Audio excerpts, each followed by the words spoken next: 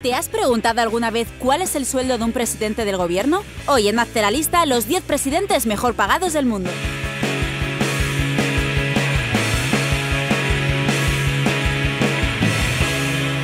Vladimir Putin. El presidente de Rusia entra en el top 10 de los mejores pagados del mundo con un sueldo que asciende a 136 mil dólares anuales. Aunque no es el más alto de todos, da para comprarse algún capricho, ¿no? François Hollande. En el puesto número 9 tenemos a Francia. El presidente francés se ha ganado su lugar en el ranking con un sueldo anual de 194.300 dólares.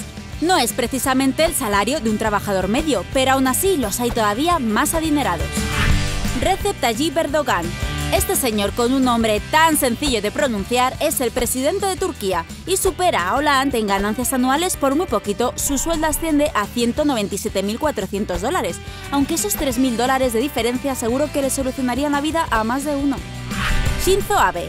El primer ministro de Japón tampoco tiene problemas para pagar el alquiler. Shinzo Abe gana 202.700 dólares al año. Una cifra nada desdeñable, ¿verdad? Pues esperad que aún hay más. 214.800 dólares. Esa es la cantidad que gana el primer ministro inglés por cada año de trabajo. Nosotros proponemos que como muestra de gratitud haga como Hugh Grant en Lo Factory y felicite la Navidad casa por casa a todos los ciudadanos, aunque bueno, las diferencias van a ser evidentes. Jacob Zuma, y llegamos al top 5. La cantidad que gana presidente de Sudáfrica tras 12 meses dirigiendo el país es de 223.500 dólares. Vamos, que puede irse satisfecha a casa tras una larga jornada de trabajo. Angela Merkel. La única, la inigualable, la implacable canciller alemana Angela Merkel gana 234.400 dólares al año. No está en el primer puesto, pero al menos puede presumir de ser una de las mandamás que goza de mayor fama mediática. Eso sí, no siempre para bien. Stephen Harper.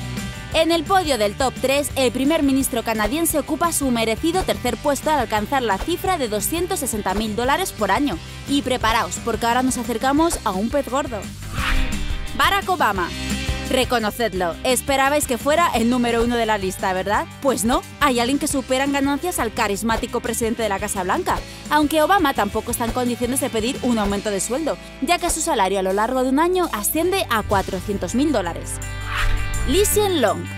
Y aquí tenemos al ganador. Al lado del primer ministro de Singapur, el resto de presidentes parecen simples funcionarios. Y es que Lee Hsien Long gana la friolera de 1.700.000 dólares al año. Lee, invítate a algo, ¿no?